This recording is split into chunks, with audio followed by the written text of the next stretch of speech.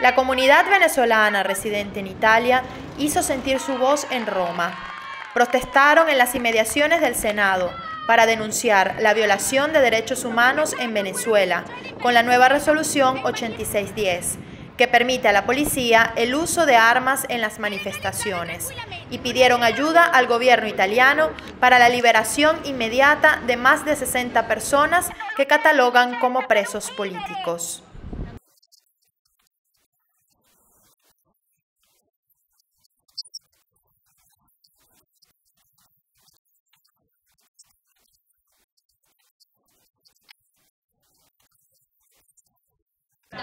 A la protesta asistió la hija del alcalde de Caracas, Antonio Ledesma, quien fue detenido hace tres semanas por el gobierno de Nicolás Maduro, presuntamente sin una debida orden de arresto.